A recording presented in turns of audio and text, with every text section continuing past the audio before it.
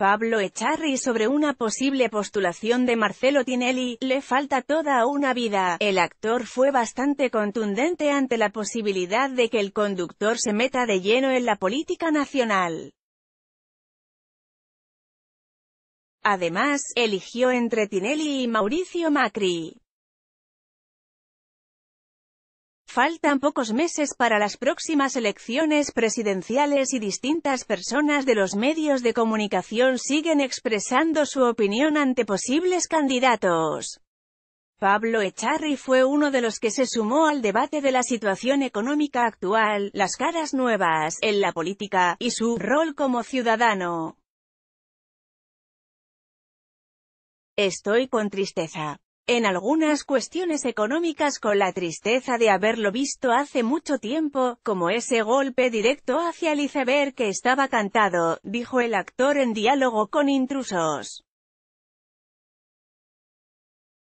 Pablo Echarri y Marcelo Tinelli, le falta una vida. Captura, América. Además, en ese sentido agregó, con lo de la justicia estoy impactado por el nivel de verosimilitud de lo que está saliendo a la luz.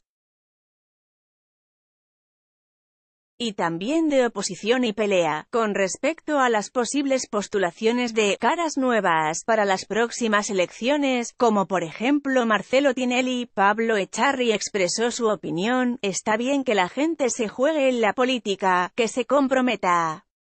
No lo veo a Marcelo Tinelli como alguien que pueda venir a aportarnos una llave de crecimiento y desarrollo, dijo el artista.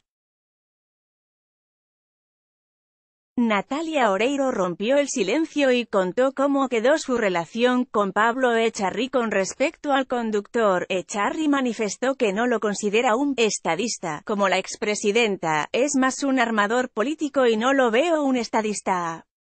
Veo otra gente en ese rol, como Cristina Kirchner, y a Tinelli me cuesta ponerlo a la par, y cerró de manera contundente, le falta una vida.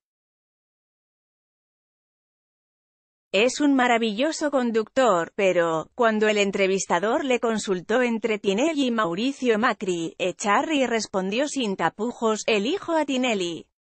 Concluyó en la nota, prefiero ser un ciudadano que habla de política con los que tengo alrededor, video, América.